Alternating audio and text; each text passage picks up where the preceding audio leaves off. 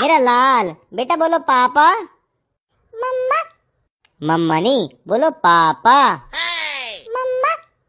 बोल पापा। मम्मा। तेरी माँ की। तेरी माँ की। Oh oh दोबारा बोली क्या बोला तुमने? ते- तेरी माँ की।